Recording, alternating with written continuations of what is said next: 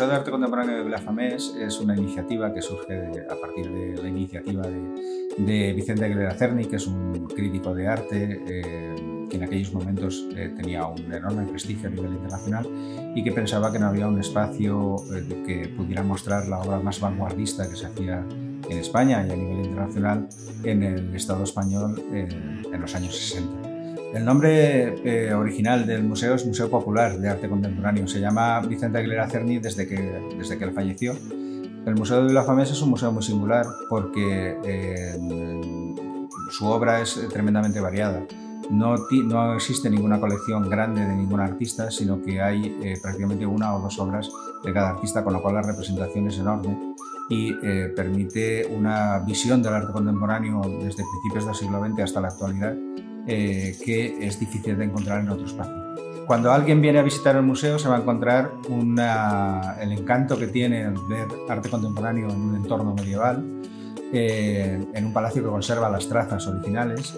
eh, pero además es una continua sorpresa porque no, eh, establecemos un, discurso diacrónico, un discurso cronológico, sino que lo que hacemos es establecer diálogos de artistas de distintas generaciones y procedencias en eh, cada una de las salas. Puedes encontrar desde artistas internacionales como Hockney o, Warhol,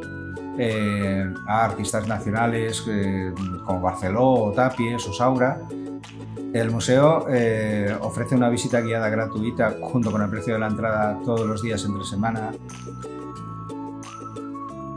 Además, hacemos visitas guiadas personalizadas dependiendo del grupo y tenemos un eh, buen número de talleres que abordan eh, todas las edades, incluidas los adultos y también los grupos familiares. en este Museo de Arte Contemporáneo puedes vivir la experiencia de eh, encontrar eh, una variedad enorme de obras de arte que te eh, van a hacer recordar, que te van a hacer sentir, que te van a hacer experimentar o cuestionarte cuestiones que van a depender mucho de, tu propia experiencia vital. Un museo de arte contemporáneo como este está pensado para que cada uno, cuando salga de la visita, pueda haber seleccionado aquellas obras que eh, tienen un valor especial por lo que le dicen a él de una manera privada. Y eso es una experiencia que no solo es mutable a lo largo del tiempo, eh, solo varía a lo largo del tiempo, sino que es una experiencia privada que solo te ofrece el arte contemporáneo.